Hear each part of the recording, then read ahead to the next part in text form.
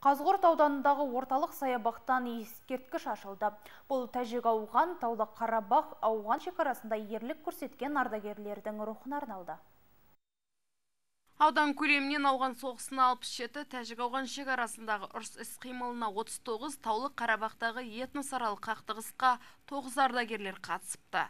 Жиналған қауым осы ұрыста ерлік көрсеткен жауынгерлерді бір минут үнсіздікпен еске алып, ескерткішке гүл шоқтарын қойды өмірлерінің өлшеулі бір бөлігі жауқазын жастық шағы оқ пен оттың астында өтіп тағдырдың жазуымен елге аман сау оралып бүгінде жас ұрпаққа үлгі болып отырған жауынгер ардагерлер сіздерсіздер.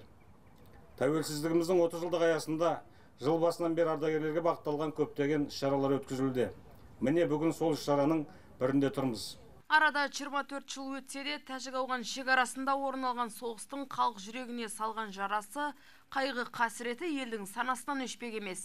Сол қан төгісте ерлікпен антқа адалдықтарын дәлелдеген қазғұрттық жау жүрек жігіттер батырға лайық орны бар. Қалқымыз жат жерде намысты ту етіп ұстап, ерліктің үлгісін көрсеткен ардагерлерге әрқашанда тағзым етеміз дейді тұрғындар. Ескерткіш ел мұрасы.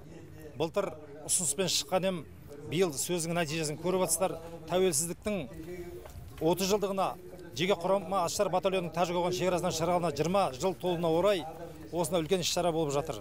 Жеке өзімнің атымнан қоғамдық ұйымның жауынгерлерінің атынан алғысым шексіз.